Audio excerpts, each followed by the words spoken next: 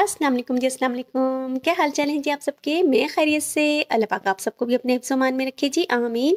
आज मैं लेकर हाजिर हूँ जी आप सबके लिए बहुत ही मज़ेदार, इंतहाई डिलीशियस और बिल्कुल सॉफ्ट सॉफ्ट से, बिना किसी अवन के और जूसम, जूसर के जग में ही हम बनाने वाले ये मज़ेदार से, इंतहाई फ्लफ़ी से कप केक की रेसिपी जो कि बहुत ही मज़ेदार और बहुत ही डिलीशियस सी बनकर तैयार होगी।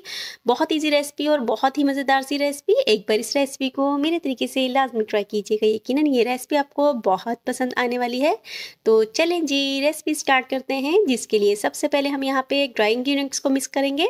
तो जिसके लिए यहाँ पे लिया है जी, एक कप यहाँ पे हमने लिया है मैदा।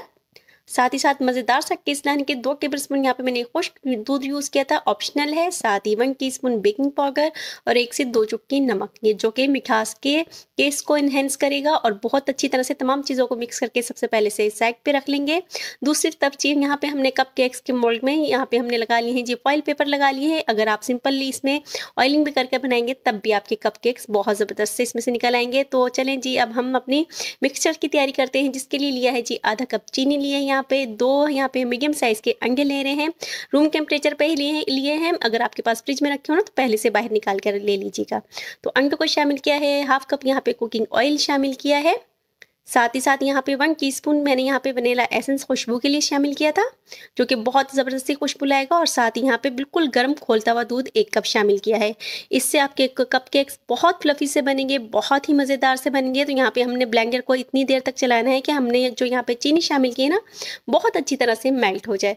तो बहुत अच्छी तरह से यहाँ पर हमने चीनी को मिक्स कर लिया है। तो अब ये तमाम बैटर को हम खुले बाउल में निकाल लेंगे ताकि हम इसके अंदर अपने ड्राइंग इंग्रीडियंट्स को मिक्स करें। तो यहाँ पर जो हमने पहले से ड्राइंग इंग्रीडियंट्स को मिक्स करके रखा था ना, अब यहाँ पे हम तीन हिस्सों में डिवाइड करके थोड़ा थोड़ा करके शामिल करेंगे और रफली से इसको मिक्स कर लेंगे। यानी कि कोई hard and pass fast rule नहीं है कि आप इसको एक ही डायरेक्शन में मिक्स करें, किसी तरह से भी मिक्स करेंगे। बहुत अच्छी अच्छा सा आपका ये बैटर बनकर तैयार होगा। साथ ही साथ दूसरी तरफ़ से चूल्हे को हमने ऑन कर लिया है और इसके ऊपर पतीले को गर्म होने के लिए रख दिया। अगर आप ओवन में बना रहे हो ना तो फिर पहले से उसको प्री हीट कर लीजिएगा।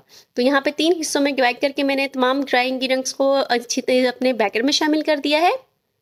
और बहुत अच्छी तरह से यहाँ पे बैटर को मिक्स करना है। कोई लम्स ना हो, यानी कि कोई ड्राई इंग्रीडियंट्स का इसमें लम्स नहीं रहना चाहिए। तो ये देखिए जी, बेहतरीन सा हमारा बैटर बनकर कप केक्स का बिल्कुल तैयार है और माशाल्लाह से इस बैटर से एक कप से हमारे बारह कप केक बनकर तैयार हुए थे। तो अब यहाँ पे जो हमारा बैटर तैयार हुआ है ना केक कप केक्स का तो इसमें से हमने आधा कप थोड़ा सा सेपरेट कर लेना है, क्योंकि हम इसको थोड़ा सा डेकोरेट करेंगे कप केक्स को ऊपर से। तो इसके लिए हमने यहाँ पे आधा कप जितना बैटर को अलग से कर लिया है। इसमें मैंने शामिल किया है जी two teaspoon cocoa cocoa powder और इसको अच्छी तरह से मिक्स कर लेंगे कोको पाउडर को शामिल करने के बाद, इसमें भी कोई लम्स नहीं रहना चाहिए।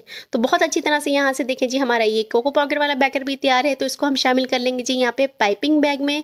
अगर आपके पास पाइपिंग बैग ना होना तो आप स्पून से भी ऐसे भी डाल सकते हैं, यानी कि जो आप डिज़ाइन बनाना चाहें ना कप केक्स के ऊपर बहुत अच्छा सा बन जाता है, किसी तरह से भी बनाना चाहें। तो यहाँ पे तमाम बैकर को जो कोको पाउडर वाला हमने तैयार किया था ना, वो तमाम का तमाम यहाँ पे मैंने शामिल कर दिया है जी पाइपिंग बैग में।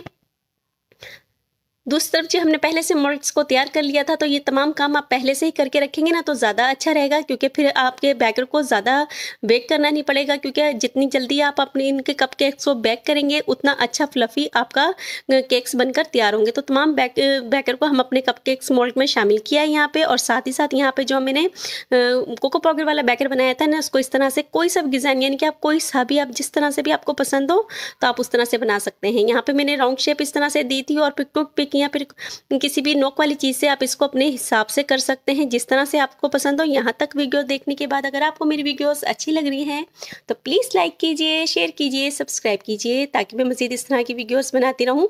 तो देखिए जिस तरह से कोको पाउडर को मैंने, कोको पाउडर वाला बैकर इस तरह से अप्लाई किया है और इस तरह से टूथ पिक से अच्छी तरह, इस तरह से कोई सा भी डिज़ाइन आप कुछ भी बनाएँगे, इसके ऊपर बहुत बेहतरीन और बहुत ही ज़बरदस्त सा बनेगा। बहुत मज़ेदार बनते हैं, बहुत ही फ्लफ़ी से कप केक्स बनकर तैयार होते हैं, खाने में बहुत टेस्टफुल बनते हैं और बहुत कम बजट में बनकर ढेर सारे ये तैयार होते हैं। तो ये देखें जिस तरह से मैंने अपने तमाम कप केक्स को तैयार कर लिया है। तो जो हमने पहले से पतीले को भी गर्म होने रखा था, बहुत अच्छी तरह से वो गर्म हो चुका है। तो अब यहाँ पर हमने जो अपना मोल्ड तैयार किए हैं कप केक्स को, इनको शिफ्ट कर देंगे जी अपने पतीले में। लुक वाइज देखें जी, माशाल्लाह से कितने ज़बरदस्त से लग रहे हैं। और पकने के बाद तो ये बहुत ही टेस्टफुल और बहुत ही प्यारे बनकर तैयार हुए थे। तो हमारा पतीला बहुत अच्छी तरह से गर्म हो चुका है तो इसमें मैं शामिल कर दूँगी जी अपने कपकेक्स के मोल्ड्स को। और इसको तकरीबन मैं ढकने के बाद पाँच मिनट तक फुल हाई फ्लेम पे ही इसको यानी कि कुक करना है, यानी कि फ़ौरन से हीट को कम नहीं करना। पाँच मिनट के लिए फुल हाई फ्लेम था, उसके बाद जी मैंने सोलह मिनट के, सोलह से सत्रह मिनट इनको लो फ्लेम पे पकाया है। तो उसके बाद दरमियान में एक बार चेक कर लीजिएगा और बीस मिनट में हमारे ये देखें जी कप केक बेहतरीन से बनकर बिल्कुल तैयार हुए थे, बहुत फ्लफी से बनकर तैयार हुए थे। कलर देखें जी माशाला से, पतीले में ही हमारा कितना ज़बरदस्त सा आया है। बार बार शुरू में ही नहीं खोलना, अगर आप बार बार खोलेंगे ना तो फिर कप केक्स के ऊपर कलर नहीं आएगा। यानी कि ऊपर से आपका कप, केक्स पकेंगे नहीं, वो हीट रिलीज़ हो जाएगी उसकी तो जिसकी वजह से इनके ऊपर से कलर सही से नहीं आता। तो ये देखिए जी, बेहतरीन से हमारे केक्स बनकर तैयार हैं। तो अब हम तमाम केक्स को कप केक्स को निकाल लेंगे, ठंडा होने के बाद मोल्ड से भी निकाल लिया था और देखें जी फ्लफनीस देखें जी लुक देखें जी, माशाल्लाह से कितने ज़बरदस्त बनकर तैयार हुए हैं। तो ईजी रेसिपी और मज़ेदार सी रेसिपी एक बार इस रेसिपी को मेरे तरीके से लाजमी ट्राई कीजिएगा। इसके साथ मुझे इजाज़त दीजिए। अल्लाह हाफिज़।